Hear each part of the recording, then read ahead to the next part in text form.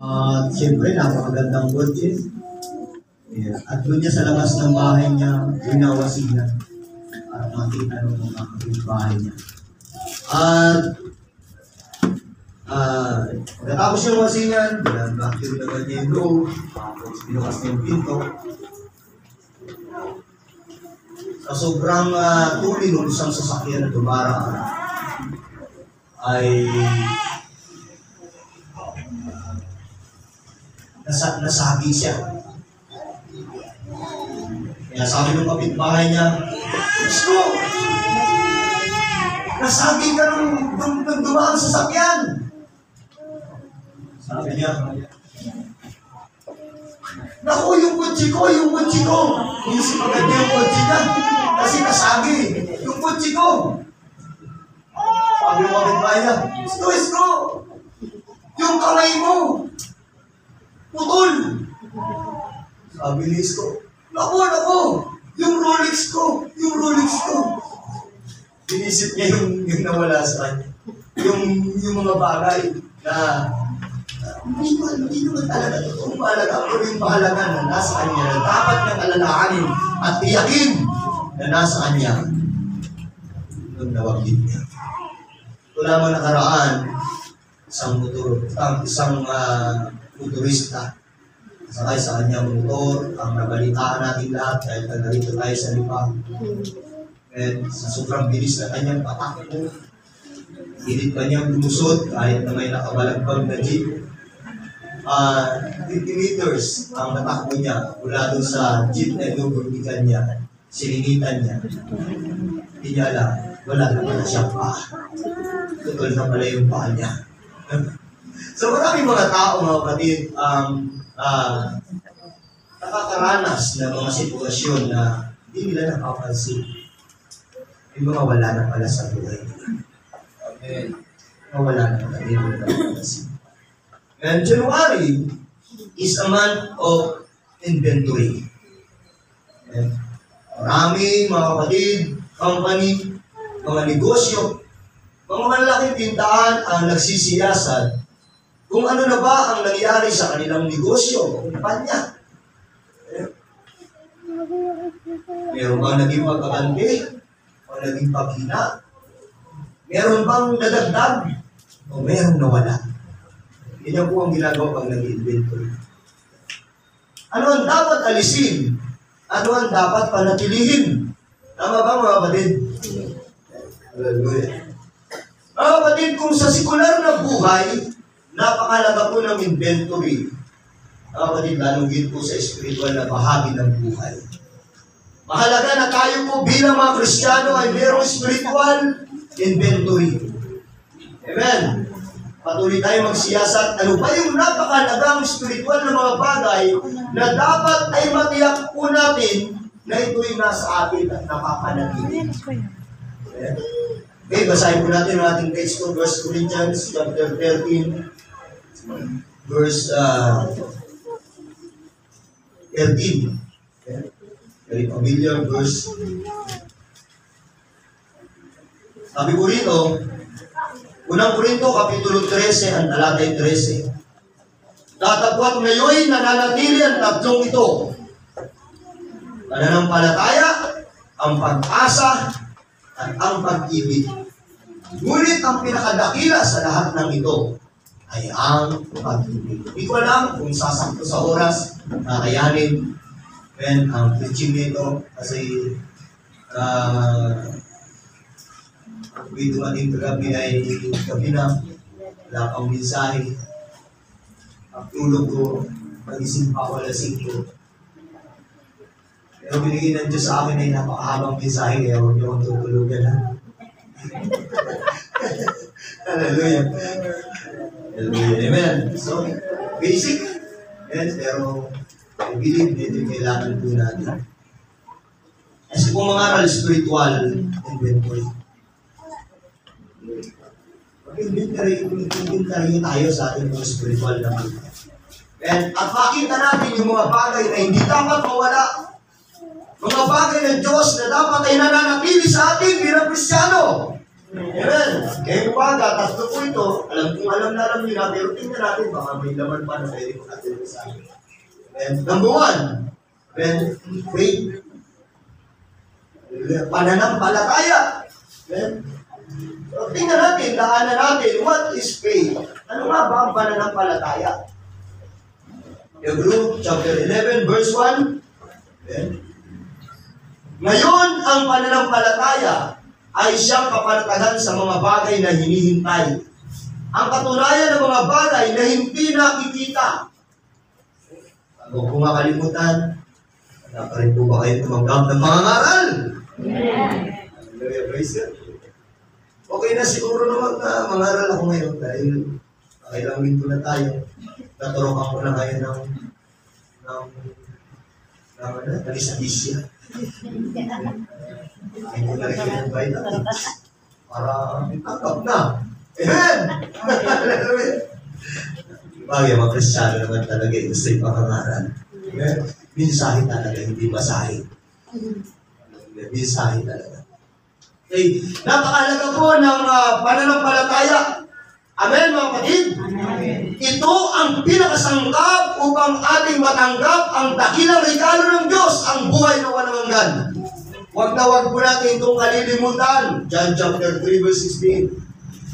Upang ang sino man na sa kanya'y sumampalataya ay hindi mapahamak, kundi magkaroon ng buhay na walang hanggan. John chapter 3 verse 36. Ang sumasampalataya sa anak ay may buhay na walang hanggan. Ngunit ang hindi tumatalima sa anak ay hindi makakakita ng buhay, kundi ang buot ng Diyos ang sumasa kanya. Mahalaga pananampalataya. Amen, mga kapatid. Hallelujah. Ephesians chapter 2 verse 8. Ayan, yung muna akong bangkit ng mga talata ngayong umaga. Amen. Sapagkat sa biyaya, kayo'y nangaligtas sa pamagitan ng pananampalataya at ito'y hindi sa inyong sarili. Ito'y kaloob ng Diyos. Ayan.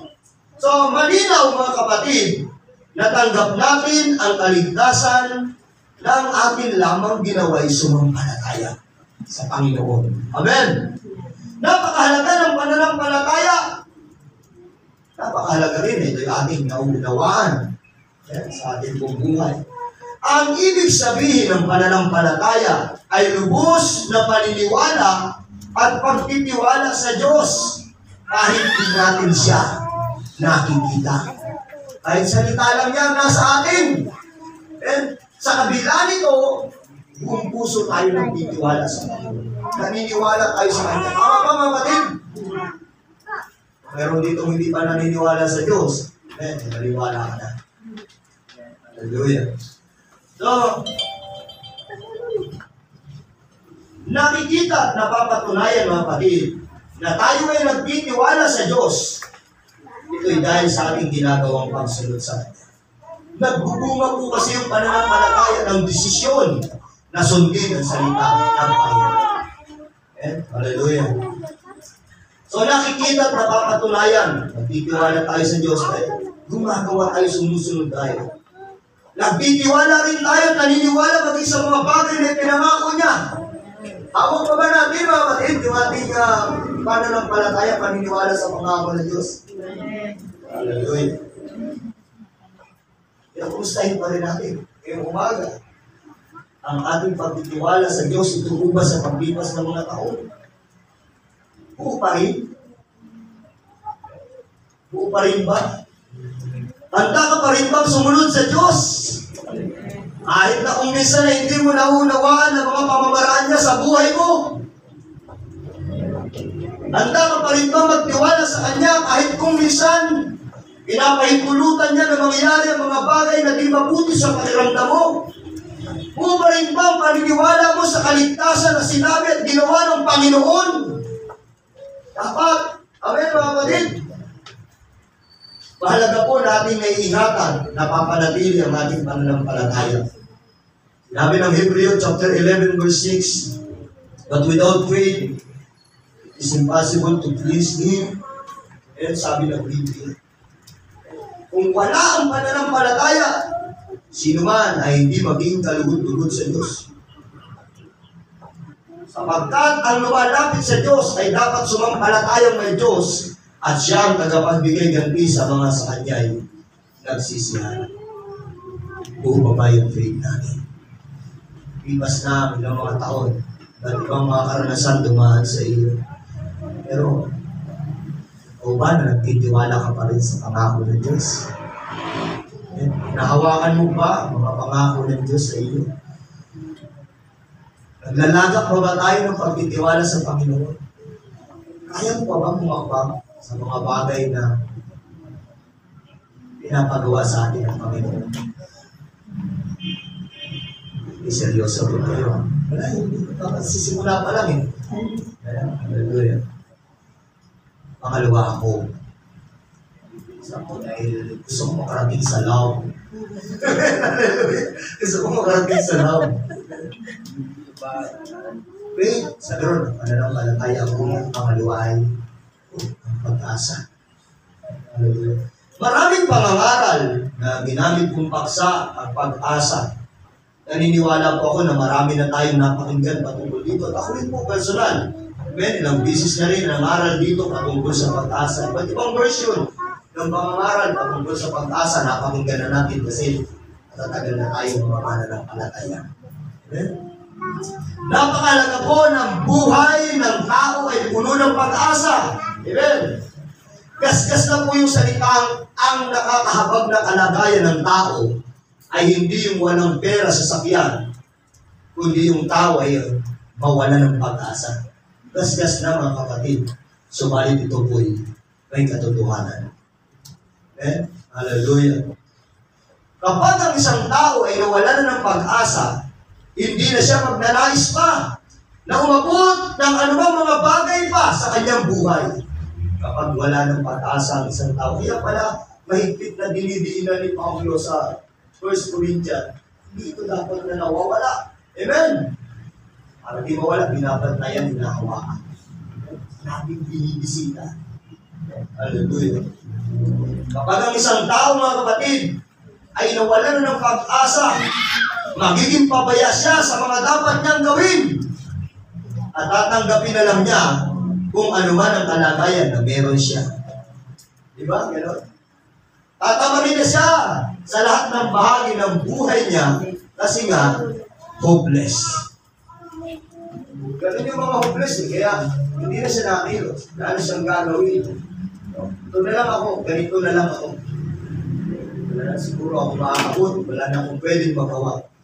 Hopeless. Ang tawag na sa kanya ay nako.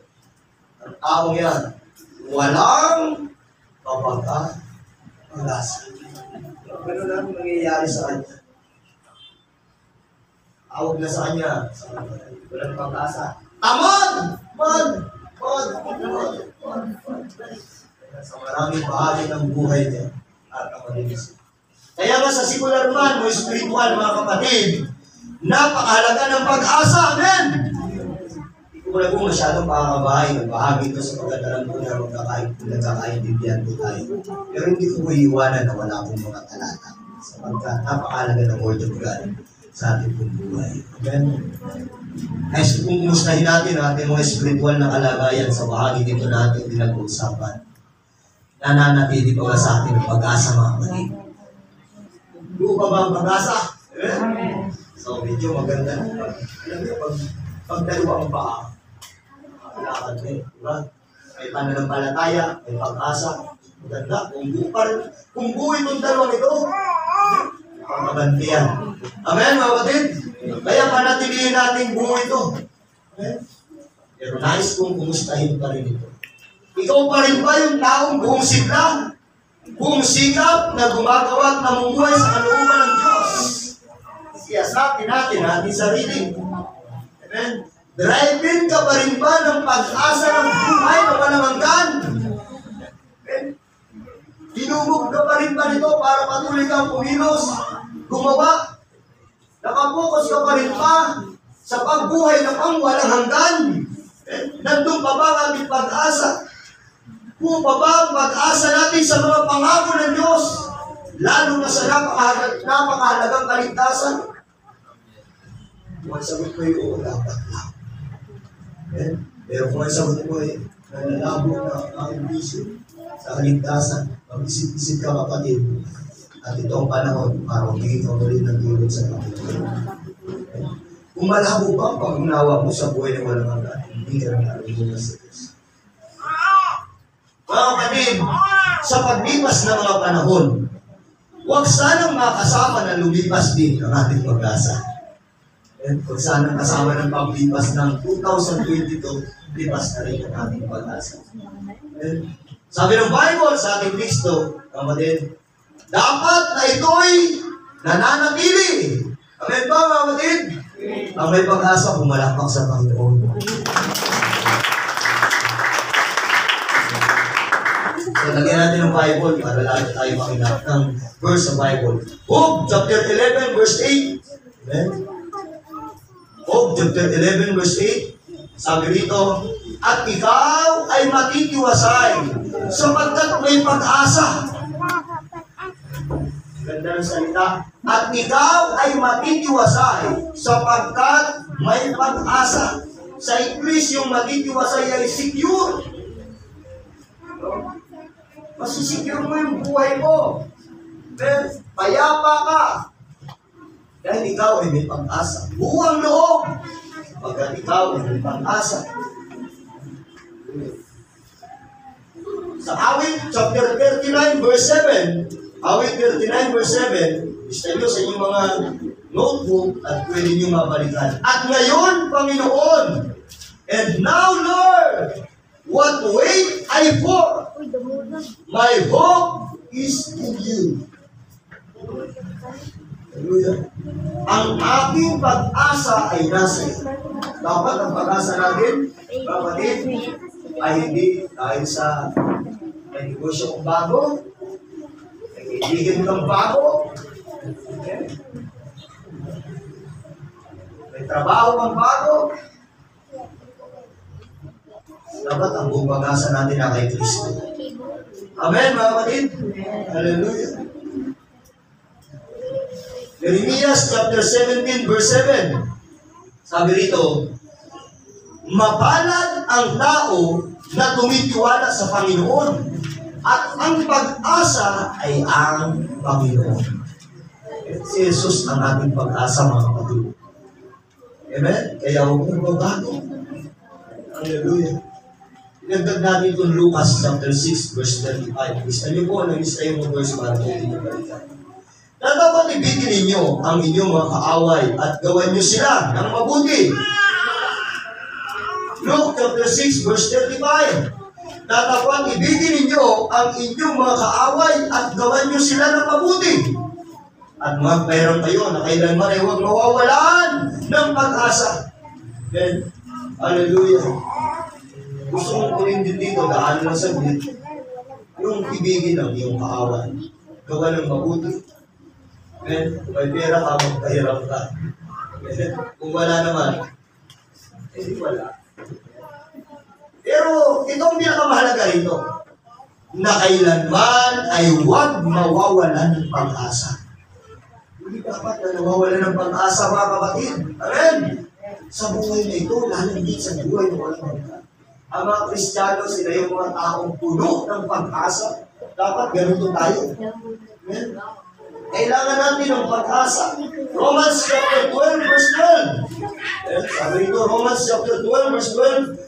Mga galak sa pag-asa. Mga galak daw tayo, matuwa ka kung ikaw ay tao na mayroong pag-asa. Lahat ng bagay, lalo tayo na sa Panginoon, lahat ay may pag-asa. Amen? Lahat ay may pag-asa, lahat ng bagay. First Timothy chapter 4, verse 10. Amen? Sapagat dahil dito ay nagsisipagpagal kami at nagsisipagsikap sapagkat may pag-asa kami sa Diyos na buhay na siyang tagapagligtas sa lahat ng tao, lalong-lalo na sa mga nagsisi sa mga lalaki. Yan. So, alam niyo, pag ikaw ay puno ng pag-asa, magsisikap, andyan talaga yung pagsisikap natin. Eh, lalo kang ins- inspired ka kasi na gumawa, kumilos. Amen ba, mga kapatid? Kaya nga hindi dapat nawawala ang pag-asa. Hebrew chapter 10 verse 23. Iniingatan itong matibay. Hebreo chapter 10, verse 23, na ating ingatang matibay ang pagkakilala ng ating pag-asa upang huwag kang mag-alinlangan sapagkat tapat ang nangako. So maraming talata sa Biblia ang nagpapatibay na napakahalaga ng pag-asa sa buhay ng tao at kung anong epekto nito sa buhay ng isang tao.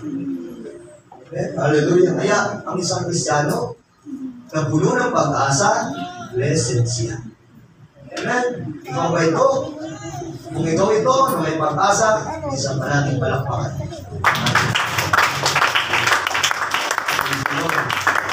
Amen. Hallelujah. Dito na tayo sa loob. Mahal mo kayo mga kapatid. Amen. Mahal natin ang Panginoon. Amen. Hallelujah. Marcos chapter 12 verse 30. Marcos chapter 12 verse 30.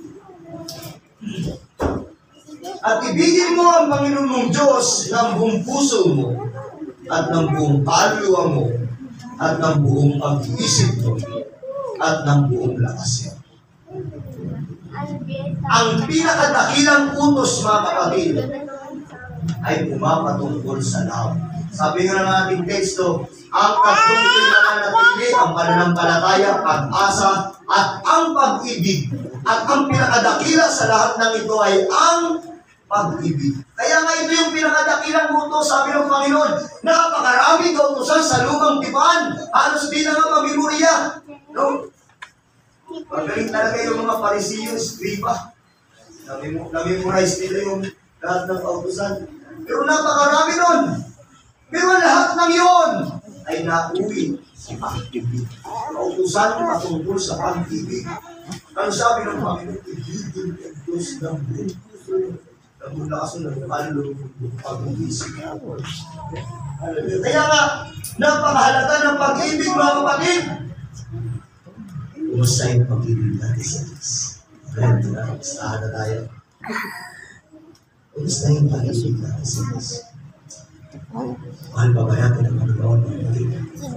Ito pa oh. Kung mahiga na. Parang kinakabaw kayo sa kasunod. ha? Mahal ba ba natin ang Panginoon? Amen. Diyos, pero hinahanap ko ng Diyos. Gusto ko ng Diyos. Na maranasan na palagi yung pag-ibig natin sa Kanya. Dahil siya, Diyos na umiibig sa atin. Dahil siya, Diyos ng pag-ibig. Amen. Hallelujah. Hinahanap niya ito, yung pag-ibig. Gusto ng Panginoon. Tinitiyak niya ito sa atin, yung iniibig natin siya. Natatandaan niyo ba? Yun sa John chapter 21, verse 15 to 17.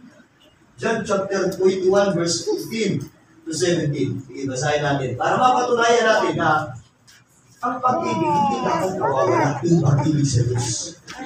Tinitiyak yan ng Diyos sa atin. Hinahanap yan, inuulit-ulit ng Panginoon. Alam niyo sa bagay, kapag inuulit-ulit, napakalaga yun. Okay? John chapter 21, verse 15 to 17. Kaya't na makapagpawid gutom sila, ay sinabi ni Jesus kay Simon Pedro, Simon, anak ni Juan, iniibig mo ba ako ng higit kaysa sa mga ito? Sinabi, siya, sinabi niya sa kanya, Oo, Panginoon, nalalaman mo na kita'y iniibig. Sinabi niya sa kanya, pakanin mo ang aking mga kordero. So, ang mga, ang mga umiibig pala sa Diyos, nagpapakain ng mga kordero. Papakain ng kanyang lupa.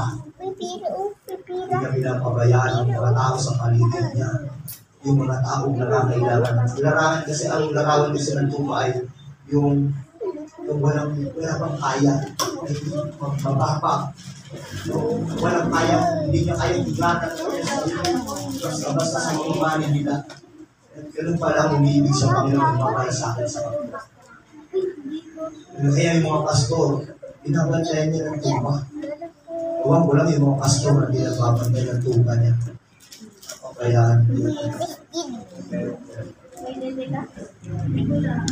wala siyang pakialam. Ang tupa niya ay kung ano nang nangyayari. Alam sila. Okay, sabi rito, inulit-ulit. Ayan na mga pa, ah, sabi na, nalalaman mo na kita iniibig. Sinabi sa kanya ng Panginoon, akalin mo ang aking order. Sinabi niya sa kanya, muli sa ikalawa, Simon, anak ni Juan, iniibig mo ba ako? Sinabi niya sa kanya, oo, Panginoon, nalalaman mo na kita iniibig. Sinabi niya sa kanila, alagaan mo ang aking mga tupa. Sinabi niya sa kanya sa ikatlo, Simon, anak ni Juan, iniibig mo ba ako? Nalumbay si Pedro, sapagkat sa kanya sinabi mga tatlo, iniibig mo ba ako? At sinabi niya sa kanya, Panginoon, nalalaman mo ang lahat ng mga bagay. Nalalaman mo na kita'y iniibig. Sinabi sa kanya ni Jesus, pakanin mo ang aking mga kasi niyo ba mga maraming mga bagay na sinasabi ng Panginoon. Pero pagdating dito sa pag-ibig, gusto niya tiyak. Amen? Gusto ng Panginoon, mahal mo talaga siya. Kaya dapat sa ating mga sarili, nag-inventory tayo mga kapatid. Mahal ba talaga natin ang Panginoon? Mo ba talaga ang Diyos? Mo ba talaga ang Panginoon? Hallelujah. Inindiyak ito ni ng Panginoon. Sipin mo tatlong bisis. Sinabi. Pinanong niya sa Biblia. Hallelujah. Kung mayroon po tayong pinakamagandang halimbawa para matiyak natin na tayo ay umibig sa Diyos, pinakamagandang halimbawa si Yesu Cristo. Ayan. Sabi rito sa John chapter 13, verse 15. John chapter 13, verse 15. Sapagkat kayo'y binigyan ko ng halimbawa upang gawin naman ninyo ayon sa ginawa ko sa inyo. Si Jesus, na ating Panginoon, persona ng Diyos bilang bugtong na anak, ay nagpakita po ng tunay na pagandang halimbawa ng pag-ibig sa Diyos. Tingnan natin kung tayo po ay nakakasusok sa pag-ibig ng Panginoon. Bakit? Ano ba si Kristo? Ano bang pinakita ni Kristo? He is humble. Ang umiibig sa Diyos, katulad ni Kristo, ang umiibig sa Ama, laging handang magpakababa. Laging handang magpakumbaba. Iwinawak siya sa buhay niya, ang kapalaluan, ang pagmamataas, ang pagmamahuli. Iwinawak siya. Ibali na siya yung mga Salamat. Nalugugod siya sa akin. Yan si Jesus. Kaya mga kapatid, sana bilang mga umiibig sa Diyos, over po tayo ng humble spirit. Nagpuspos tayo ng humble spirit. Amen. Ano ba ito si Jesus? Bakit siya napakagandang halimbawa? Amen. He is willing to forgive. Ang tunay palang umiibig sa Diyos ay marunong magpatawad.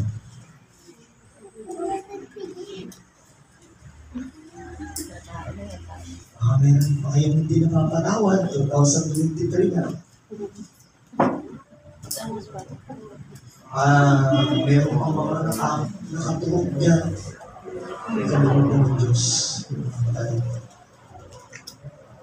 Panginoon, larawan halimbawa, napakagandang halimbawa ng umiibig sa Ama. Siya ay mapagpatawad. Kaya huwag kang pumayag na alipinin ka ng sino sa atin. Ang gawa sa iyo ng pagkakamali, Forgive, forgive, forgive, forgive. Amen, mga kapatid. Totoo lang naman tayo nagkakamali. Diba? Wala naman sa ating perfect. Kaya, patawarin. Pagkukulang ang isa't isa. Kaya, ito si Jesus, napakagandang halimbawa. Bakit napakagandang halimbawa ni Jesus bilang umiibig sa Diyos, Ama? Is willing to sacrifice. Handa siya magsakripisyo. Yan si Jesus, handa magsakripisyo. Ayaw ba? Handa mo magsakripisyo, mga kapatid. Lord, bibigay ko sa iyo ang buhay ko. Bigay mo buhay mo, eh. yung Miyerkules nga ng gabi, wala ka.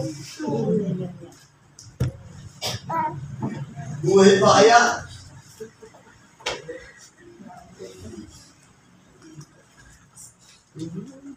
Nagkasip ko na sa akin. Jesus nga, nagbiyahe mula langit hanggang lupa. Hallelujah.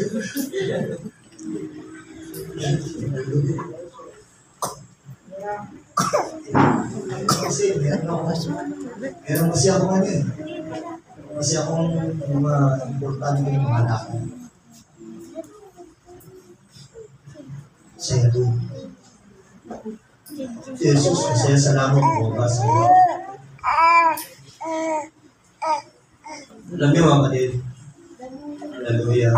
Walang pagkita sa atin. Ulitin ko. Wala kahit isa. Pero ang pangaral na ito ay magtulak sa ating lahat. Yan. Na matuto tayong magsakripisyo para sa mga. Sakripisyo mo oras mo. Pag kinuha na yan ni Lord, wala ka ng oras. Eh habang may oras ka pa, magsakripisyo na sa Panginoon.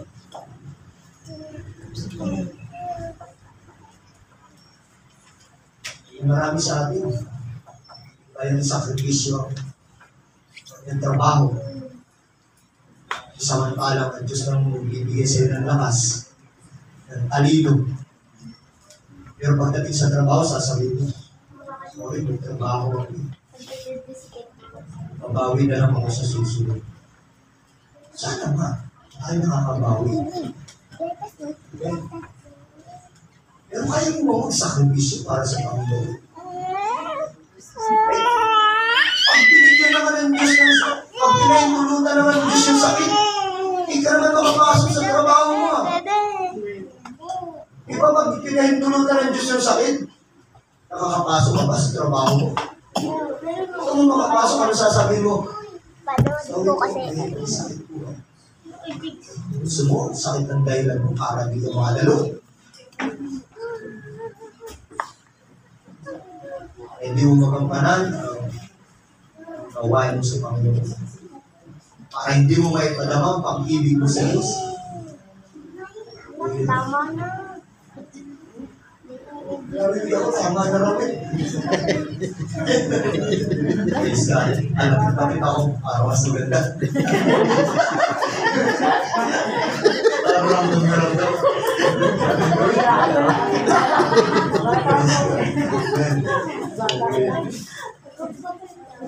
Jesus, ay mong sakripisyo. Si Maria nga, at saka si Jose. Grabe mag-isa. Basta siya nandun sa templo. Kaya sila Maria naman, lakad ng lakad. Ng lakad, lakad ng lakad. Pag tinanong, nasaan si Jesus? Wala na si Jesus. Eh si Jesus naman, sabi niya, nararapat na ako nasa harap ng aking ama. Ang sakripisyo yan, di ba? Yung mga relatives na kumahal mo sa iyo.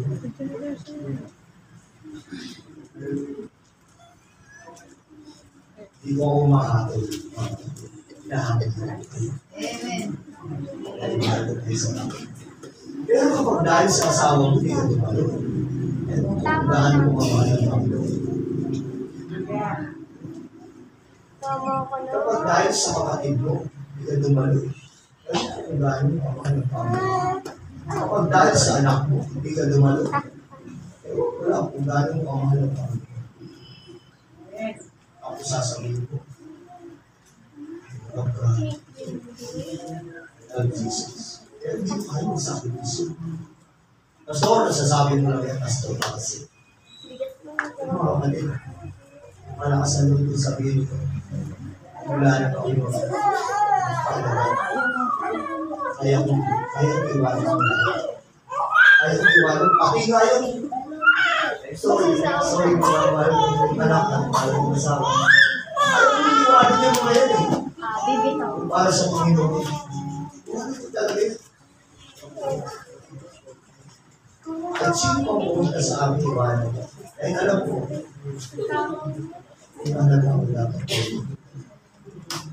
Ano ba akong dapat unahin?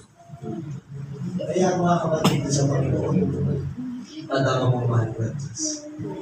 Ang nagmamahal ayaw sa akin. Talaga. Hindi niya, kahit nahihirapan siya, napapagod siya, alam ko, dahil yung kapagalan. Alam ko, ang dami yung pagod. Pero kung mo ang Panginoon, itis ka, tataga ka. Kaya kung mahal yung Panginoon, kaya ayaw ko na ako dito, ayaw ko na lang dito. Ayan, hallelujah. Pero gusto ko sana, pinanais ko na lahat tayo na naman natin. Tulungan si Lord sa buhay natin. Nakakalungkot po kasi kapag may mga Kristiyano na kinukumpara nila si Kristo o ang Panginoon ay siya rin kumita. Kahit po di pag-ibig nagagaling sa iyo. Ba sa Diyos yung dito-dito? Nabasa niyo ba sa Bible? Nabasa niyo sa Bible na ibigin mo ang Diyos ng lubila. Yung oras, yung lakas, yung pag-iisip mo. Nabasa niyo ba ito? Ako nabasa no, mula sa Genesis mula sa Revelation. Wala akong nabasa.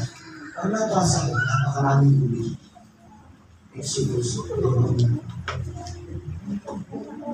Numbers, Leviticus, hanggang pagdating nga dito sa sa mga mga mayroon ng sinasabi ko, pagdating ng bagong tinan bumaba si Jesus sa ito rin sinabi, Ibigin mo ang Diyos ng buong puso mo, ng buong lakas mo, ng buong kaluluwa mo, at ng buong pagkakasip mo. Pero sige, kaya, spiritual inventory natin,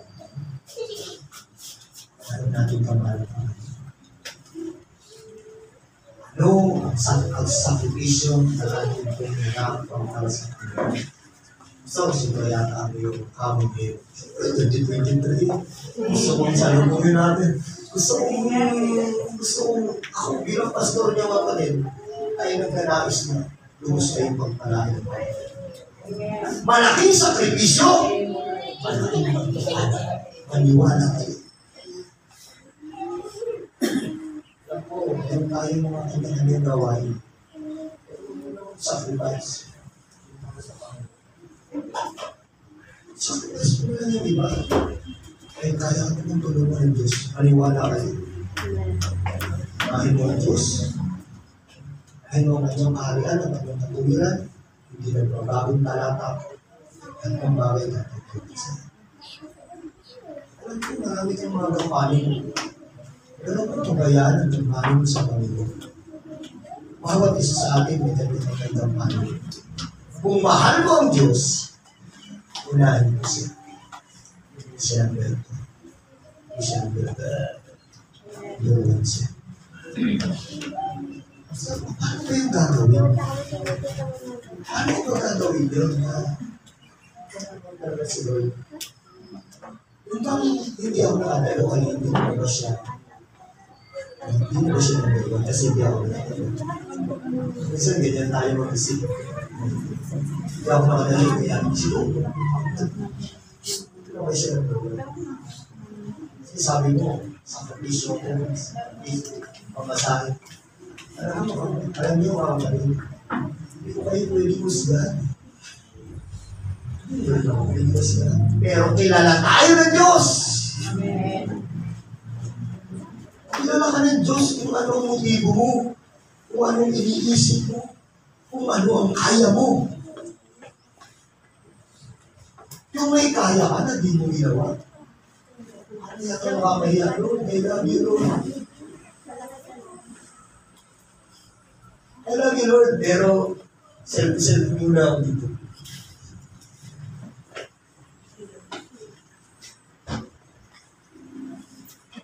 Mamasyal na muna ako doon. But I love you, Lord. I really, really love you, Lord.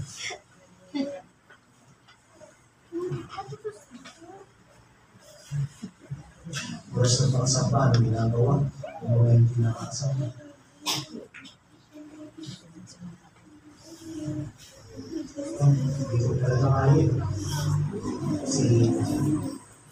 church. Wala akong pagbasahin.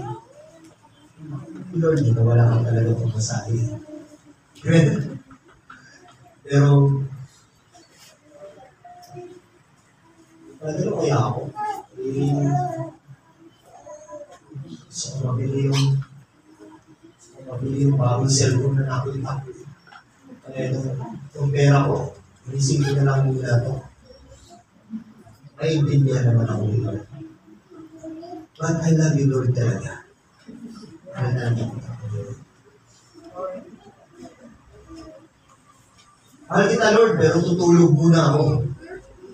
Kasi pagod na pagod ako, Lord. eh. Tulog muna ako. Sabi kasi, kaya, Lord, wala akong aming oras para matulog. O, tingnan niyo mga wala ngayon. Sana mapanood, hindi pala tayo nakalive. Pero ikutin nyo na lang sa kanila. Anong ginawa mo nung Sunday morning? Nasaan ka?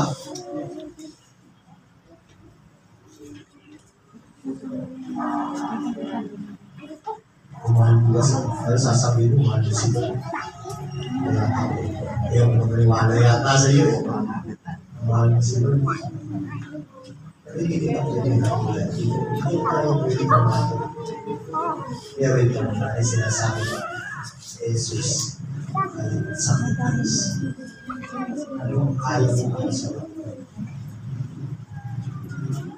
ay mong alisin sa aking isipan. Sinabi ng Panginoon, ang umiibig ng higit. Ibig sa kanyang magulang, na ng higit sa akin. Walang kapatid ng higit sa akin. Hindi ka naman dapat sa akin. At hindi sa sarili. Di ba? Sabi ng Panginoon, ang umiibig, ang nagnanais na iligtas ang kanyang sarili. Hindi ka naman dapat sa akin. Libutin mo yung sarili. Masarili mo. Ng Panginoon. Kung may kanya-kanya tayo mga pansarili, mga paning gawain sa Panginoon, sigat tayo mga Sana itong 2023 ito mga kapatid ay lagi sariwa sa atin ang pagpilong niya sa Diyos. Alam mo, pag sariwa sa iyo pag-ibig mo sa Diyos kahit nahihirapan ka, kahit mischedule ito pa ka, dahil mahal mo ang Panginoon, gagawin mo yun. Amen? Kaya naniniwala ko, mga kausap ko ngayon, ngayon umaga. 2023 lalo magiging masaya at mahalag sa Panginoon. Kasi lagi natin sasaluhan yung mga. Mga friends. Dahil mo naman ang Diyos, hindi ka naman lugi. Di ba? Pag nasa iyo ang Panginoon, nasa iyo lang lahat.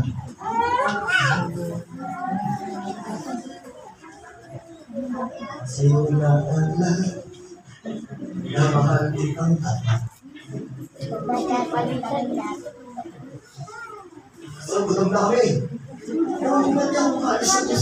Gusto ko eh. Bakit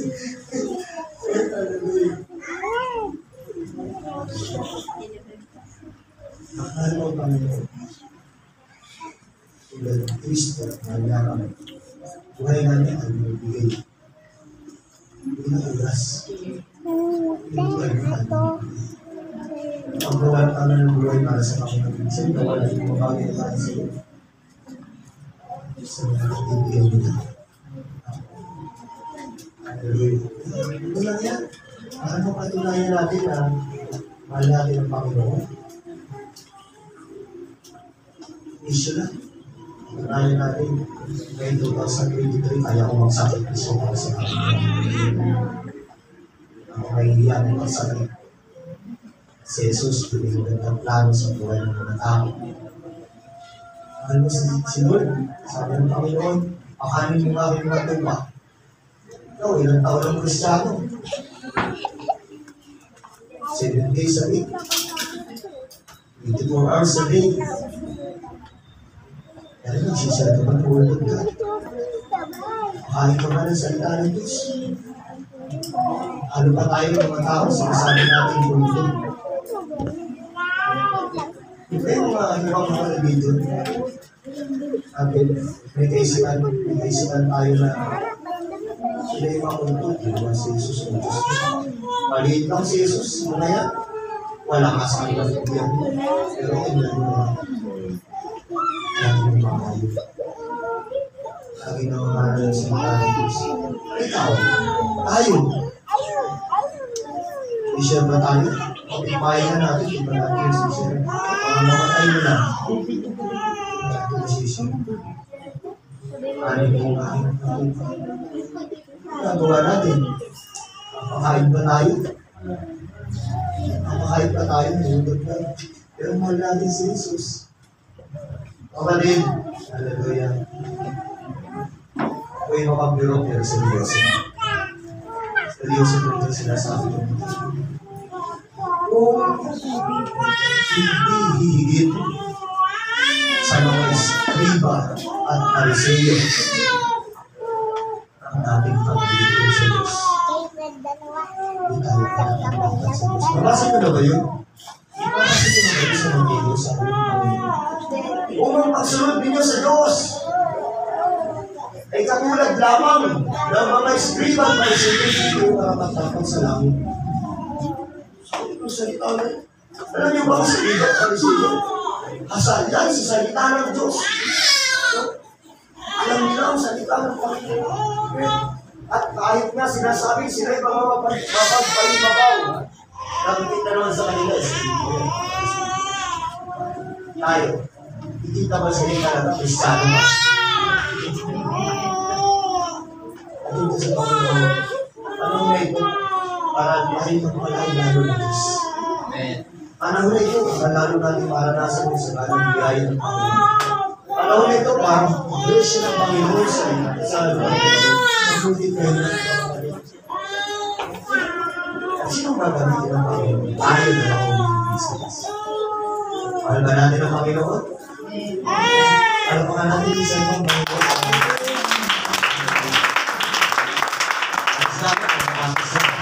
Ako sa online ko eh. Ito kasi online ko eh. Nag-iiba eh. Kaya pala yung online ko, nag-iiba. Hallelujah. Pinag-aralan lang natin ng isang linggo. Ang ng Diyos hindi hallelujah.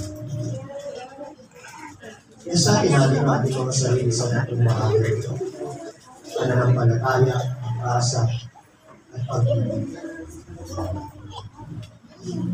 Sabi ng Panginoon, ang tatlong ito'y mananatili. Sinabi na natin hindi nawawala. Hallelujah.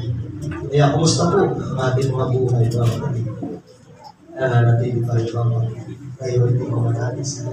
Kung ba ba ang pagtitiwala natin sa Panginoon? Umaasa pa ba tayo sa buhay na walang hindi ba ba tayo na ito ang ating maraming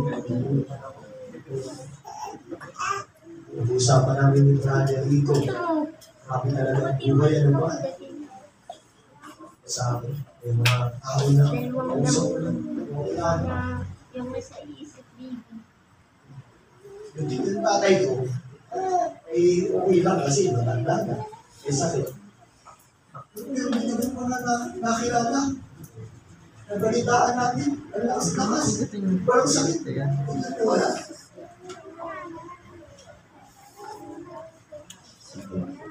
Ano pakinggan siya? Yun yung lagi nakatayo sa isip. Kung awa naman siya. Kung wala siyang pananampalataya, kung wala siyang pag-asa, hindi niya, hindi niya Diyos. Kung tao mo. Kaya mga ko sa Panginoon, pag natilihin natin ito, eh, tumatagalan pa si Lord. At least, puro tayo ng pag-asa, pananampalataya, pag-ibig. Kung dumating na si Lord, eh, puno pa rin tayo, talo pa tayo, pag hindi katulad ng Panginoon. Amen? Kaya magpakasig pa tayo sa pagpipigil sa Panginoon. Kayo rin tinagi natin ang Panginoon. Sobrang, ah, ako po'y nakaranas ng Panginoon ng Diyos. Galing ako sa Manila, trabaho, trabaho, sa Manila, hindi. Tapos, nagpunta ako sa tayong tawag, hindi naman sa alawa, pagdating sa alawa, ako nag-ayos ko, yahin mo Yahin. Wala mag-iintindi. Pwedeng wala sa gawain ng Panginoon. Hindi ako pwedeng wala sa gawain ng Panginoon. Rin ito ay gawain ng Panginoon. Ito na ang buhay ko. Ako, pare-pares tayo kahit hindi naman tayo pare-pares ng pastor. Din natin ang Panginoon. Hindi na tayo kaya. Pero gawin natin ating buong kaya para kita naman na mahal na natin ang Panginoon. Gawin natin ang ating kaya. Kung natin ang ating mga ulo. Hallelujah.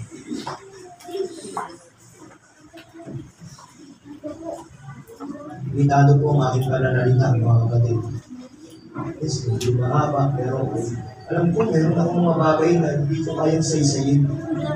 Alam ko may mga bahagi ng buhay natin na hindi ko maabot ng pananal- pananalita. Pero isang bagay ang aking pinamahawakan at pinagdiwalaan. Buhay ang Diyos at mga pangyayari siya. Ulang man napakinggan mo sa akin pero naniniwala ako kinakausap ka ng Diyos.